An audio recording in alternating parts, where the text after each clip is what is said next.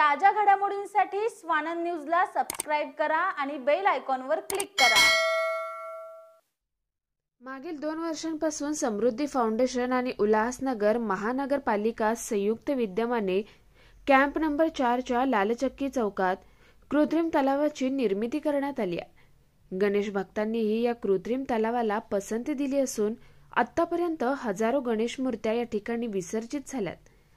Camp number चार परिसरात कुठल्याही प्रकारची गणपती विसर्जनाची सोय उपलब्ध नसल्यानं नागरिकांना उल्हासनगर रेल्वे स्टेशन पलीकडे जावं लागत होतं.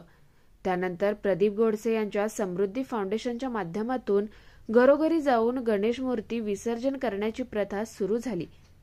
दरम्यान गणेश मूर्तींची संख्या दिवसेंदिवस वाढत असल्यानं अखेर उल्हासनगर महापालिका आणि प्रदीप गोडसे यांच्या समृद्धी फाउंडेशनने लालचक्की चौकात कृत्रिम तलावाची निर्मिती करण्यास सुरुवात केली आणि या कृत्रिम तलावाला नागरिकांनी मोठ्या प्रमाणात पसंती दिली आहे.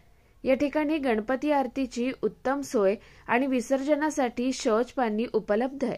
कृत्रिम तलावाची निर्मिती करण्यात आली. कशा लोकांचा प्रतिसाद आणि किती मूर्त्यांचं त्या ठिकाणी विसर्जन झालं जर आपण बघितलं तर कोरोना काळापासून हा उपक्रम चालू आहे. कोरोना काळात आम्ही घरोघरी जाऊन गणपती बाप्पाचे विसर्जन केले.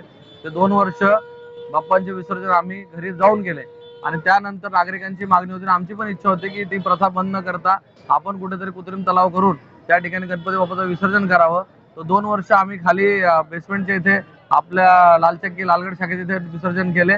आणि पुढचे दोन वर्ष माननीय अजित आयु आयुक्त साहेब अजित शेख यांनी आम्हाला बोलवलं आणि त्यांनी सांगितलं की बाबा तुम्ही एवढं चांगलं काम करता तर महापालिका पण तुमच्यासोबत येईल.